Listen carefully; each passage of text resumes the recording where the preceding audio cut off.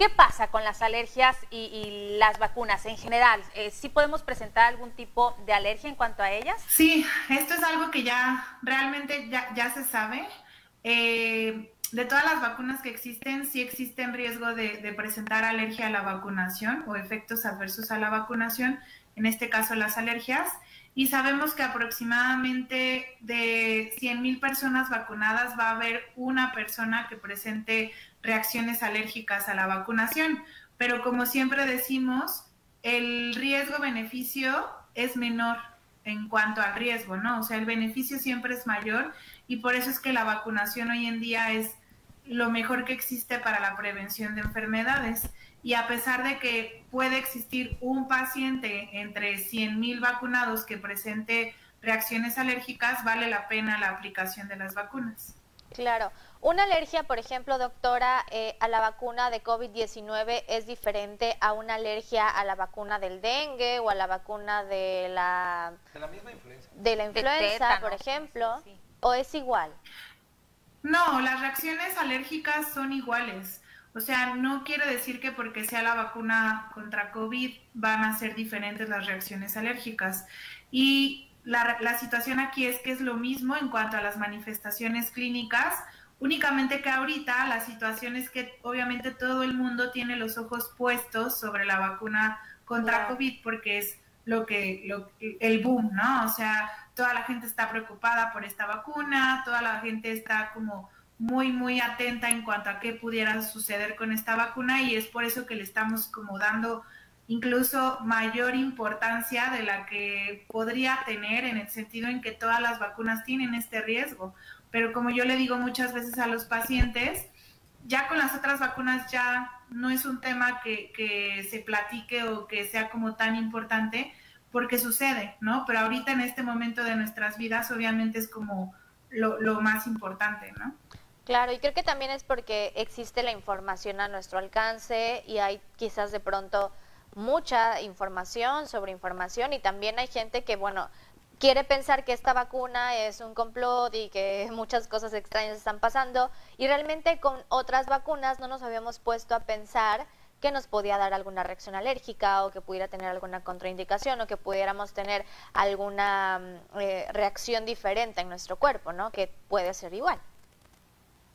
Exacto, exacto. O sea, básicamente es eso. Y de hecho, la realidad es que todos tenemos riesgo a presentar una reacción alérgica a una vacuna.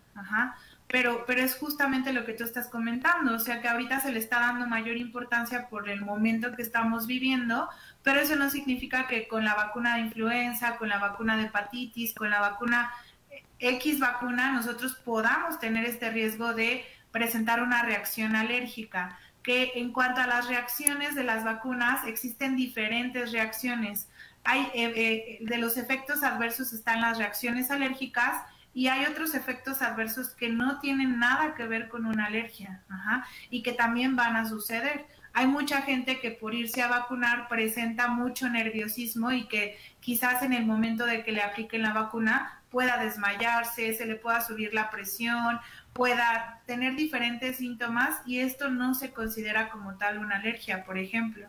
Para que nosotros de verdad evidenciemos que existe una alergia, deben de ocurrir síntomas a nivel cutáneo, síntomas donde se, se presenta inflamación de los labios, de los párpados, que se eleve la frecuencia cardíaca, que se eleve la presión arterial, eh, vómito, diarrea, por ejemplo, dificultad respiratoria, ahí es donde nosotros decimos, ah, ok, esto sí tiene relación con una alergia. Eh, también se comenta que esperan un lapso de 20, 30 minutos en el mismo lugar donde te vacunaron para, que, para conocer si te da alguna reacción de este tipo, ¿no? Exacto, porque nosotros, cuando se presenta una reacción alérgica severa, generalmente el tiempo promedio es de 15 a 20 minutos, máximo dos horas.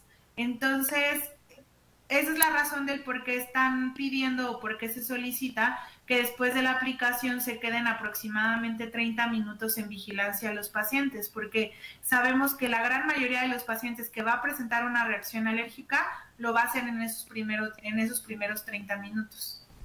doctora, sí, eh, yo soy una persona que en general sufro de muchas alergias y ya me han detectado que pudiese yo tener alguna reacción cuando me vacuno ¿Es recomendable aplicarse eh, eh, la vacuna del COVID eh, o ir con mi médico previo a esto? ¿Qué puedo hacer? En general, la única contraindicación, como muy precisa, es que los pacientes hayan tenido anafilaxia a los componentes de la vacuna, que en este caso, hablando de la vacuna contra COVID, el componente que se está especulando y que se está diciendo que pueda ser el causal de las alergias es algo que se conoce como polietilenglicol. Ajá.